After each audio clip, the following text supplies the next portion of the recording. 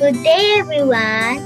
Today I'm gonna show you a video about how to become a responsible computer user.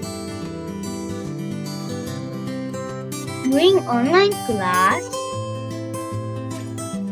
keep all food and drinks away from computer and equipment. Liquid spills may cause an electrical shock or the computer not to operate properly. Use equipment covers to protect hardware from dust.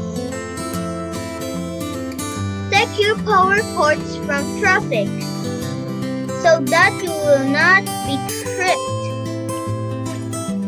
Never open email attachment from unknown sources.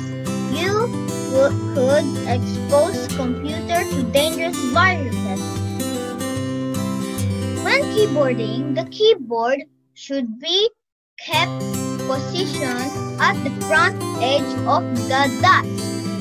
Students should always use proper keyboarding posture and sit correctly in their chairs.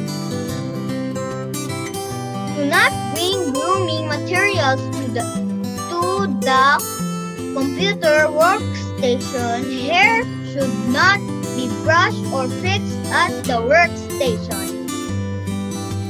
Never bang mouse or, or on the keys. Always use light touch in with these input devices. Before and after using the computer. Maintain a proper room temperature and humidity levels. Keep ventilation opening clear and free. Turn off the computer during electrical storms. If the power goes off, all equipment must be turned off.